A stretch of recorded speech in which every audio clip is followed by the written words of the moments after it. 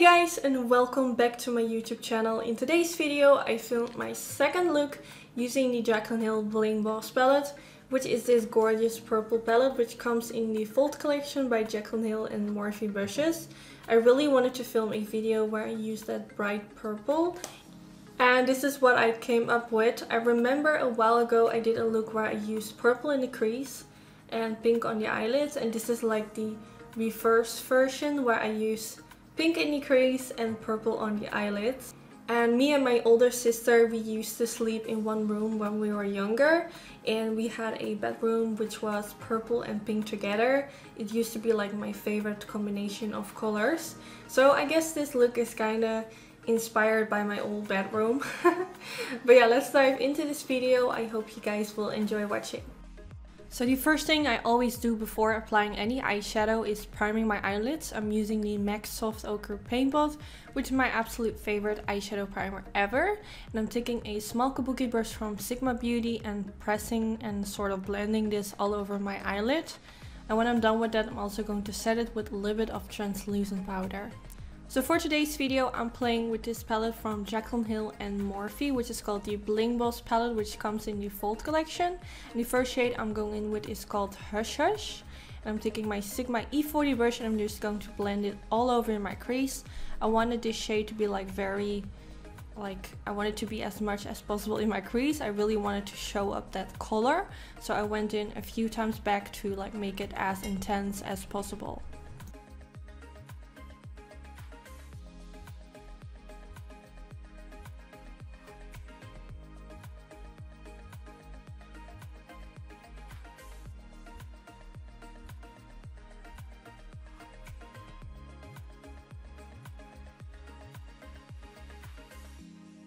So now I'm taking this Morphe 35B eye palette and I'm going to use that fuchsia kind of shade. I really wanted to stick to using like only the Bling Boss palette, but I really wanted it to have like a more of a pink vibe. And for this, I really needed to add like one different eyeshadow that didn't come like in the eyeshadow palette. I think almost everyone has this palette. It's like one of the most loved palettes. I know at the moment it's discontinued because um, they're coming back with an even better palette, which I think has like the same shades as the Morphe 35B. I'm not really sure, but I do think it has something to do with a collaboration with James Charles.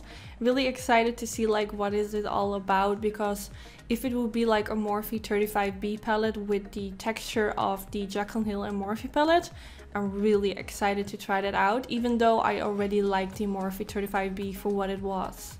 So now I'm taking this shade which is a little bit darker. It's like a more intense version than like the fuchsia shade I just used from the Morphe 35B palette. But if I would go straight in with this shade after using the Hush Hush shade, it wouldn't really turn out this way. And I also feel like whenever I go in with a light shade, I always like to go in with like an in-between type of color. Because if you go in with a very dark color, like straight away, it can be really hard to blend out. So that's why I went in like with the fuchsia shade, which is more of a in-between type of color. I really hope that makes sense and I hope you guys have something like similar at home if you want to recreate this. So now I'm taking this color Jam, which is like the color that I really wanted to use. Um, I did a different look with this palette as well, which I will link down in the description bar, which is like more of a smoky eye. But I wanted to do like at least one more look with this palette and use this purple color because I think it's really beautiful. I'm really into purple eyeshadows.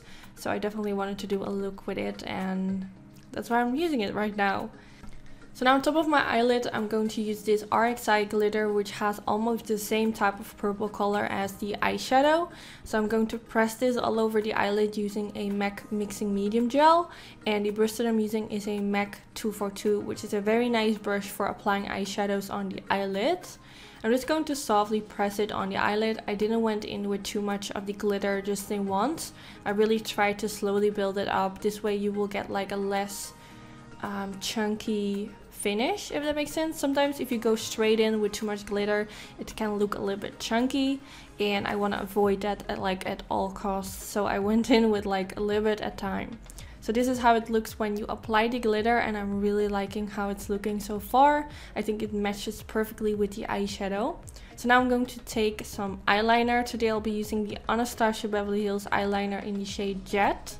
And I'm just going to create a simple line above my lash line. I'm not going for a winged liner. Um, I just gonna keep it really simple. I want the focus to be on the eyeshadow. So I apply a line above the lash line and then off camera, I also applied a thin coat of liquid liner, which I will mention in the description bar. So I'm going back in with the shade Rockstar and I'm taking a flat definer brush, which I will use to press this eyeshadow underneath the lower lash line as tight as possible against my lower lashes.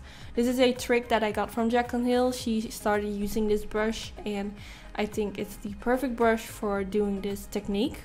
Then I'm taking that fuchsia shade again from the Morphe 35B palette and using that to blend out that Rockstar eyeshadow and since I used it in my crease as well you can now really easily like blend it underneath the lower lash line then go a little bit towards the um, outer V area and it will all blend together.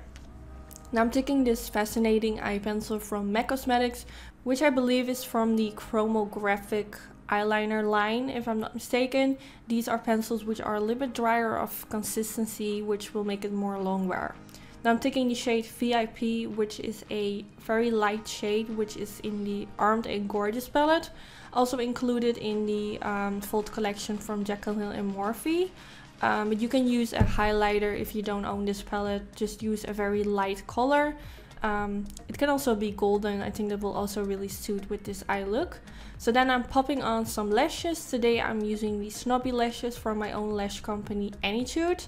At this moment a lot of lashes are out of stock, but these are like very dramatic, smoky kind of lashes. And here you can see how the eye look looks with the lashes on. So now that I'm finished with my eyes, I'm going to start with the lips and I'm going to use this lip pencil from MAC Cosmetics, which is in the shade Strip Down and I'm going to line my lips.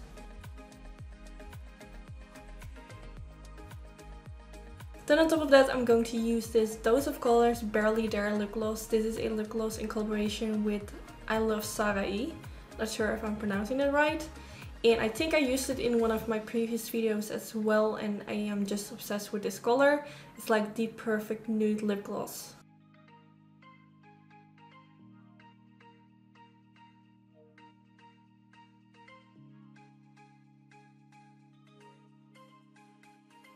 I don't really feel like contouring today, so I'm only going to warm up my skin. And I'm using the Mineralized Skin Finish Powder from MAC in the shade Medium Deep, which is one of my favorite powders to bronze. And the brush that I'm using is the 108 Zoeva brush.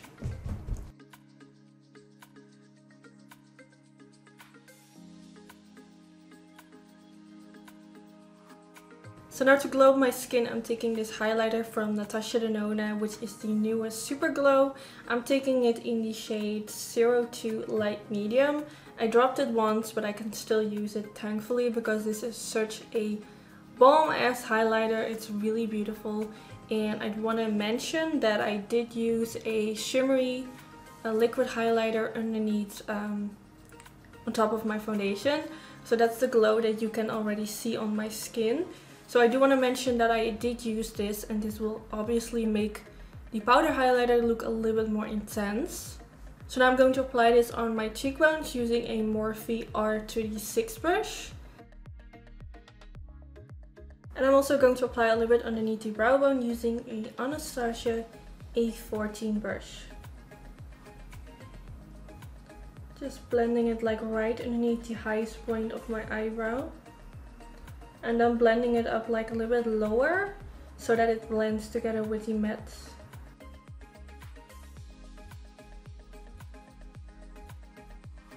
My skin is looking glowy, can you guys see that? I am loving the Natasha Denona highlighter, like no joke, it's just freaking gorgeous. So now on top of my cheeks I'm taking this blush from NARS and this is in the color Luster. I'm taking my Zoeva Luxure Cheek brush in the number 127 and applying a little bit on the apples of my cheeks. This is a very gorgeous color. It's like a very neutral tone. So whenever you want to go for like a blush that isn't like pink or peach, you just want to have like a very neutral type of blush. This is really gorgeous. Like for example, if you're going for a red lip, Sometimes, you know, when you go for a pink blush, it's just a little bit too much. So this is definitely a blush that I would advise to get if you're wearing a lot of red lipstick. It's just really gorgeous and neutral. And to set my face, I'm going to use this 3-in-1 hangover spray from Too Faced. And then here you have the end result. I really hope you guys enjoyed watching this video where I used the Bling Boss palette from the Jaclyn and Morphe Vault collection. Let me know if you want me to do another look. Um, and this is like my second look, but maybe I can do a look with this shade as well. I haven't used it yet and it looks really gorgeous.